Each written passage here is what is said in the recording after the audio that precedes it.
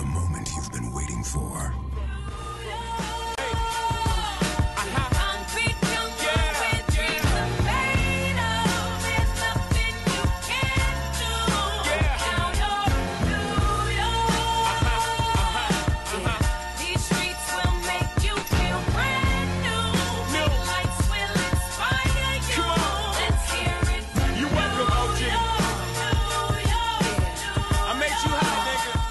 Hey yo everyone, welcome to the Complete Impact Podcast, and today I'm talking about the second episode of TNA's New York tapings. So to kick off the show, we start with a no holds bar match between Bobby Roode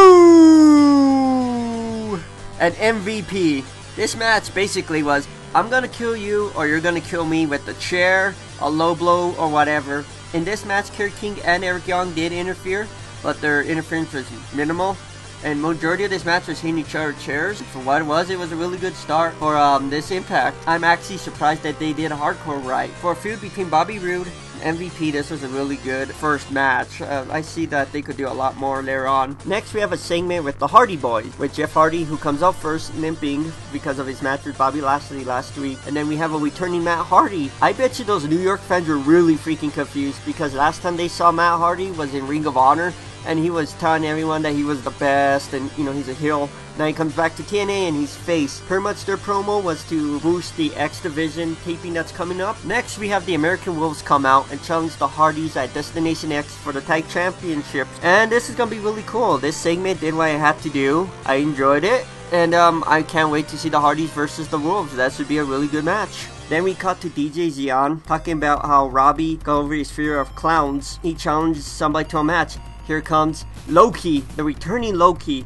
This match was a squash, but I'm really happy to see Low Ki back, and um, it's gonna be great to see them feud again at Destination X. This is helping Destination X look like a really credible, awesome show when it comes up in New York. Next up, we have two segments. One with Dixie Carr talking to King Mo, which we could skip, and then the other one with where Anderson said that he would not deal with Shaw, you know, as a partner or anything else. That was it. Tag team action as we have Bram and Magnus versus Anderson and Gunner. Pretty much this was just a squash match to show that Bram and Magnus mean business. And then at the end, Abyss comes out to help him when Bram and Magnus are just beating up on Gunner and Anderson. And here comes Shaw. Now we have Shaw, Abyss, Gunner, and Anderson on one side and Magnus and Bram on the other side. So there's a feud going on there now. Next we have a segment between Bobby Lashley and Austin Aries. We're pretty much just setting up main event for Destination X where Austin Aries cast in his X Division Championship to be in the main event. Next, we followed that with uh, Taryn versus Gail Kim for the championship. Very good match until the beautiful people interrupted. And in no contest, that was a disappointment. We have the great Muta. The Great Muta looks really good here. I love he's got that mask here. His mask is so awesome. They put him against Robbie E in a pretty much just a squash match. But um, seeing him was actually kind of entertaining. Um, I know he's older and all that. And this match was just pretty much just to set up the segment next, where we have James Storm come in and calls um, Great Muta the Great Fraud and all that, and then he, you know, he spits on him with his beer. So, and he beats up his, um, well, his posters that he has there from Wrestling 1.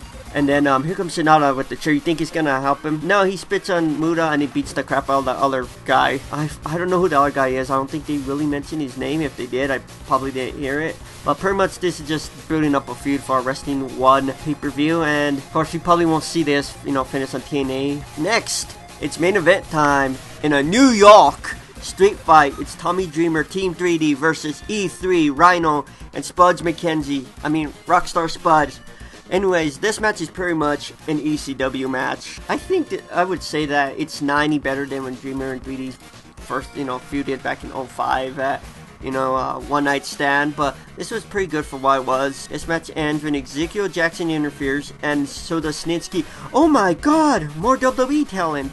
Well, this works here because they're around New York, anyways. You have everyone there. You have Dixie, King Mo, Rockstar Spud, EC3, Rhino, Ezekiel, and Snitsky. Stand- you have him up there standing strong on top of their corpses saying, We own this place. New York is our place now. You guys are the relics and we're the new guys. So I can't wait to see how this feud ends. This is gonna be a really good feud. Let's see if they put Dixie to a table. What did I think of the second episode of New York tapings?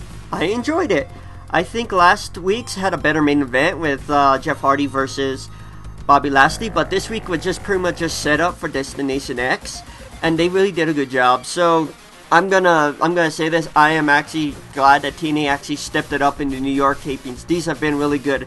Six sides is really working fine. The crowd's really into it. So next week we'll see what happens in New York, or what or what it is. Destination X, baby.